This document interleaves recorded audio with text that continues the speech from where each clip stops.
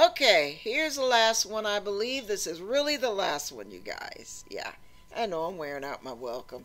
Y'all can change the station if you're tired of looking at this old mug. Ah, uh, listen. Pat Love with Pat's Two Cents. With a request.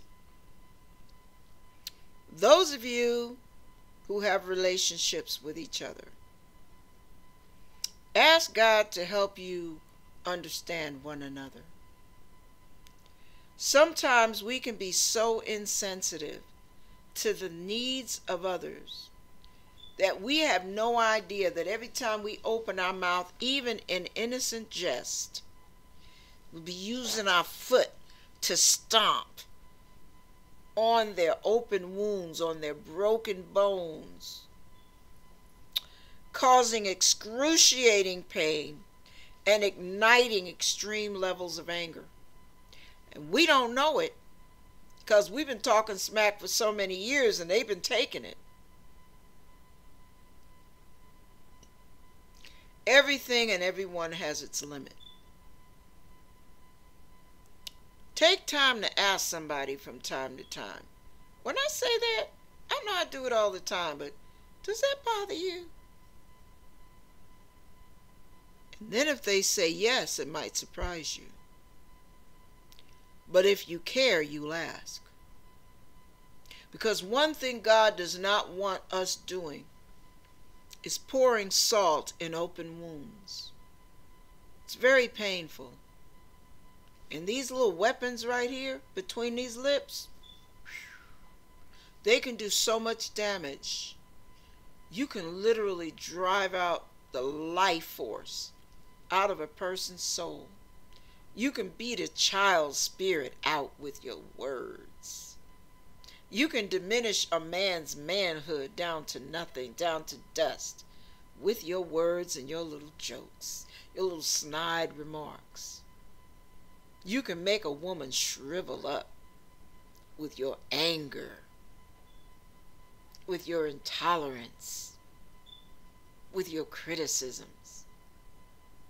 Do you want your mouth to be a tool that gives life? Or do you really want your mouth to be a weapon of death?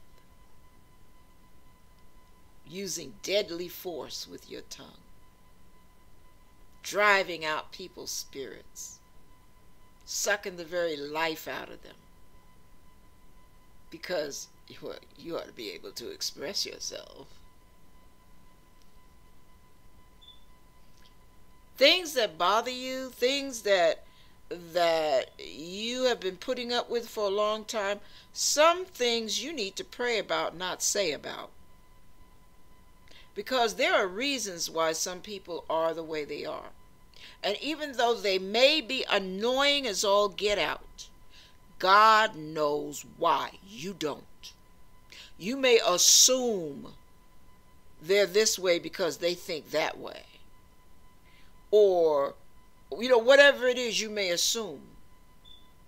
But god knows the root cause and the roots are so far beneath the surface none of us can fathom what has happened down at that level. So even the annoying ones ask god to teach you how to handle them so that they can understand that maybe some things they could curtail a little bit but they don't have to be made to be fe- to they don't have to be made to feel like one big pain in the butt just because it annoys you.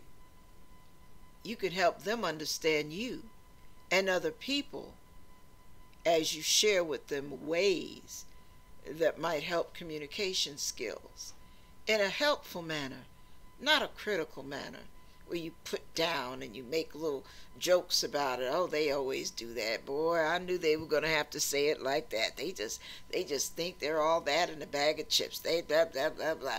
You don't know what they think. They just are what they are. They don't even know why. Some of the most arrogant people are 10 times more insecure than you. But you want to criticize them. Mm-hmm. You want to say whatever you can say to bust their little bubble because they're so arrogant and you're sick of it. What do you think God is sick of with you? You can take marbles and diamonds and jewels and gold and copper and wood and stone and throw them in one bucket. Shake them up, try to decide which one is the most valuable. You know what God will say? All of them deserve to stay at the bottom of that bucket because every one of them is flawed. Even if humans can't see the flaw, I do. And one flaw with one and a hundred flaws with another still put you all in the same bucket. That's crazy, isn't it? But that's the way God sees us because we have this treasure in an earthen vessel. That's what the word says, which means we are all imperfect to a fault. You hear me? So be careful uh, there's a scripture that says, All of our righteousness is as filthy rags. That is equivalent to an old used sanitary napkin. Yuck. And we all do fade as a leaf. And we all do, and, and it's all, not some, not them, but they're better. It's all. That throws you me and everybody else you hate because of their arrogance or their or their conceit, whatever the case may be, or their selfishness or self-centeredness, puts all of us in the same bucket.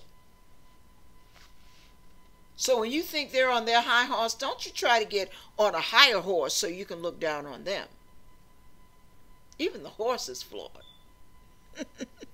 okay, Mamacita's done. Just food for thought going into the new year. Don't be so intolerant to the faults of others. Because while you are suffering through theirs, baby, they're agonizing with yours. Hello.